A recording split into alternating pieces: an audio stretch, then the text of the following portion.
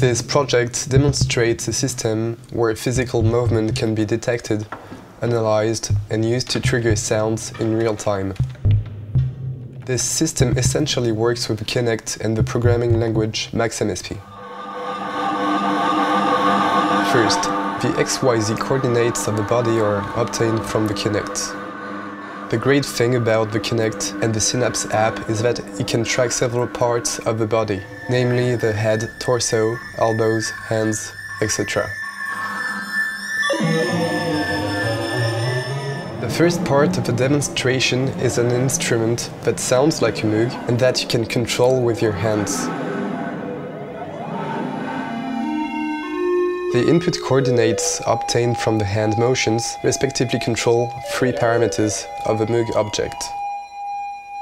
The horizontal deviation of a hand increases the amount of granular synthesis on the sound. The signal is sent to another module, which is a sort of a flanger effect.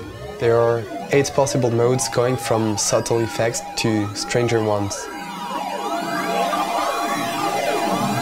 At last I've added a wind type of sound that one can only hear while the hands are in motion. The intensity of the wind is proportional with the acceleration of hands.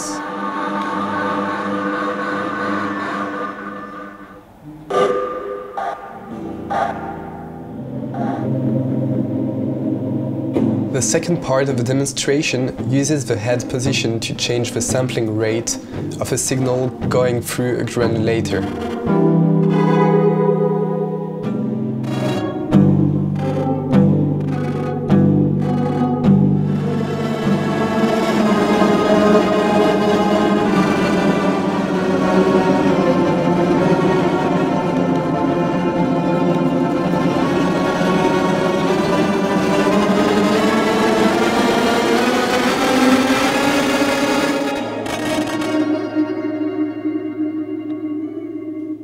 The third part of the demonstration is not intended to be used for musical performance, but you can see it as a game.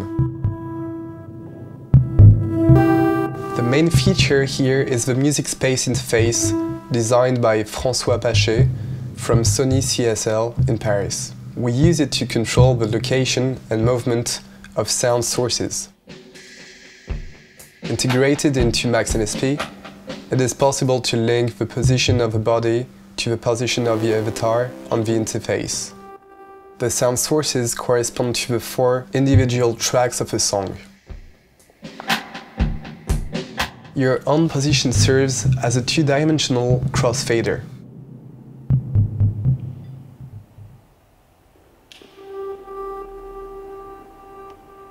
You can see it as a game. One places the sources on the music space, while the other is seeking them by moving around the physical space.